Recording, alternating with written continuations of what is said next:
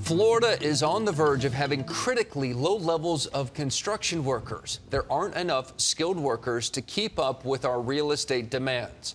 NBC2's Ashley Dyer looked into how local workforce boards are coming together to try and address the problem.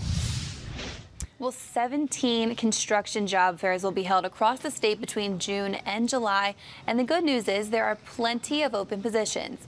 Some of those jobs do require certain certifications, but we're told about 90% of the available jobs don't require anything except some hands-on training.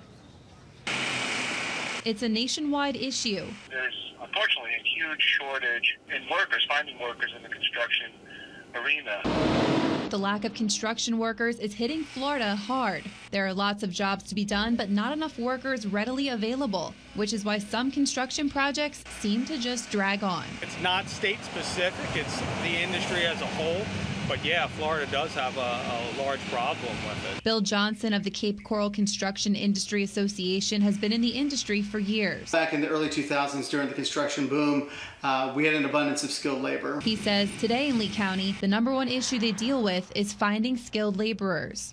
We're not at a critical level yet, but I mean, obviously the the more skilled labor we have, what that does is it allows the trades to complete jobs quicker.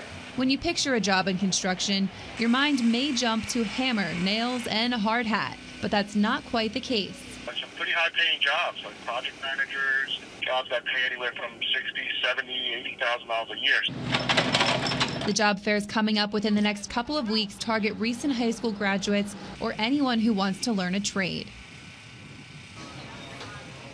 Tomorrow, the construction job fair is making a stop in Fort Myers. It will run from 9 a.m. to 1 p.m. at Career Source, Southwest Florida. The event is open to the public.